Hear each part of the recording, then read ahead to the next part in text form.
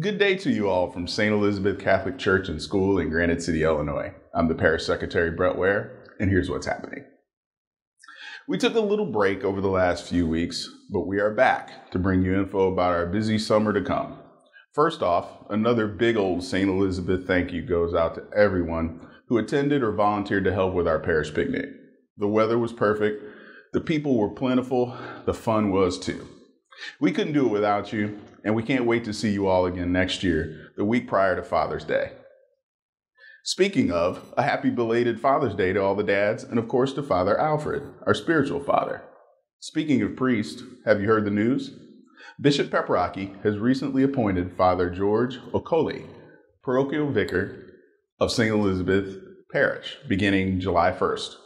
Father George will be here as soon as his visa is approved and he can travel, so be praying for him around that. Does that mean that Father Alfred is leaving us? No. Father is still here and still will be our pastor.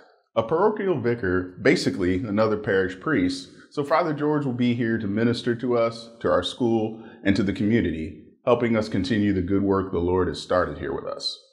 Check the bulletin for more specifics about Father George and his background. Are you still considering where your children may go to school in the fall? It's not too late to consider enrolling them at St. Elizabeth Catholic School. Call the school office and speak to our secretary, Loretta Joyce, about taking a tour and perhaps joining us in the fall of 2024. We would love to have you and your family and children here with us.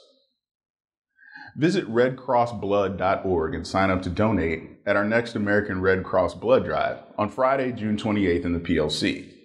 Blood products are in extreme demand, particularly in summer, and you can spend just about an hour and possibly help as many as seven people. You can also earn a small gift card for your donation. Join me and many others in donating on Friday, June 28th by visiting redcrossblood.org.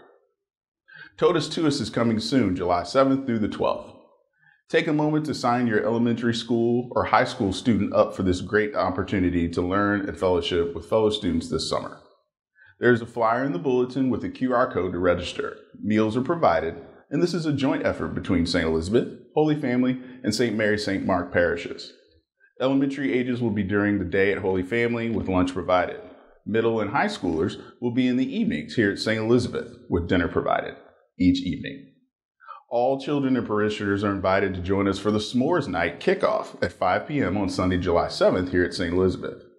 See more details in the bulletin this week as well.